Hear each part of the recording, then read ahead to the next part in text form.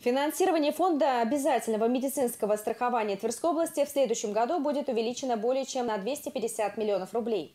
Такое решение было принято на заседании регионального правительства, которое в среду провел губернатор Игорь Руденя. Ожидается, что общий объем средств ФОМС Верхневолжья в 2021 году составит порядка 17,5 миллиардов рублей.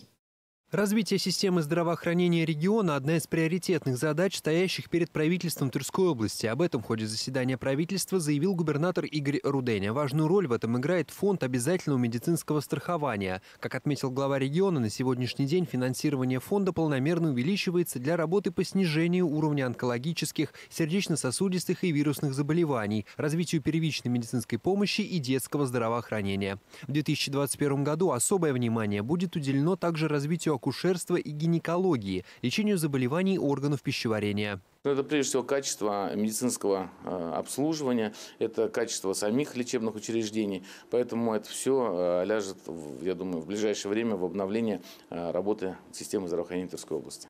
В ближайшее время, отметил глава региона, будет проведена комплексная работа, которая включит в себя строительство нового операционно-реанимационного блока при Тверском онкологическом диспансере, наращивание мощности профильных отделений для увеличения объемов оказания помощи при лечении острых сосудистых нарушений, заболеваний желудочно-кишечного тракта и органов мочеполовой системы, а также создание филиальной сети областного перинатального центра имени Бакуниной в Ржеве, Кимрах, Нелидове, Вышнем Волочке и Бежецке.